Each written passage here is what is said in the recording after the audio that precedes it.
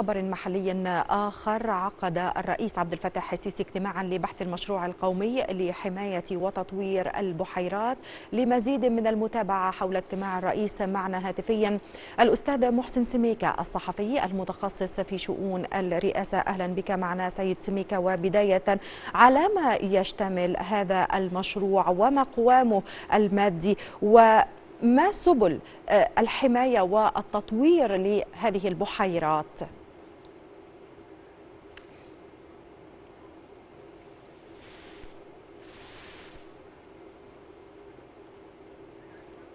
سيد سميكة إذا كنت تسمعني أعيد عليك السؤال مرة أخرى فيما يتعلق باجتماع سيادة الرئيس لبحث المشروع القومي لحماية وتطوير البحيرات على ما يشتمل هذا المشروع القومي أيضا من الجهة المسؤولة عن تنفيذ هذا المشروع وعلى كم مرحلة سيشتمل المشروع عليها؟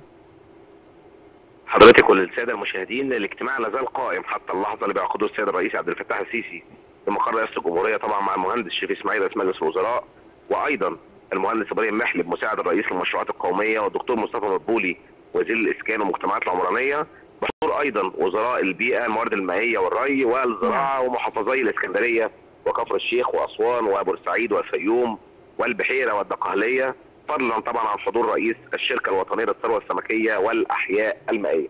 مفترض الاجتماع هيناقش ملفات متعددة ست ملفات تحديدا قد تتصدر يعني أجندة هذا الاجتماع. من ضمنها طبعا بحث المشروع القومي لحماية وتطوير البحيرات وأيضا بحث كيفية تعظيم الحفاظ على الاستثمارات اللي انفقت في الأصول الثابتة وتعظيم الاستفادة منها في عدة مجالات طبعا منها حماية المنشآت والاستثمارات القائمة بالمناطق الساحلية.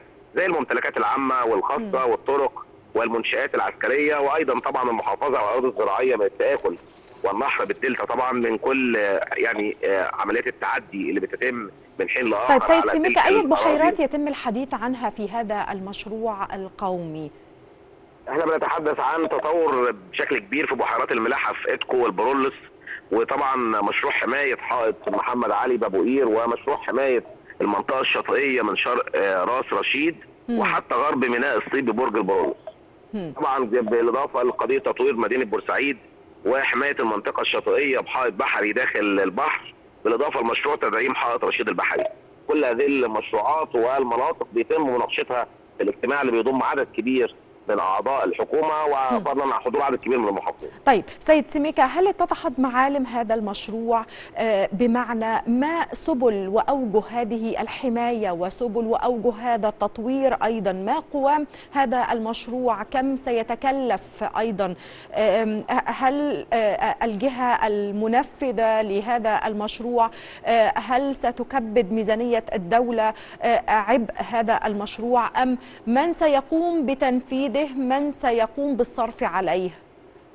يعني هناك بعض من النقاط المتعلقة بالسؤال حضرتك هيسفر عنها طبعا البيان الرسمي الصادر عن مؤسسة الرئاسه فور الانتهاء من الاجتماع ما يتعلق بقضية توفير وقضية بحث هذه المشروعات. رئيس أكد مرارا وتكرارا أن كل المشروعات التي تقوم عليها الدولة منذ توليه المسؤولية تدرس دراسة جيدة ويتم عليها أكثر من بحث وتتم بحث كل جوانبها قبل إدخال الدولة فيها.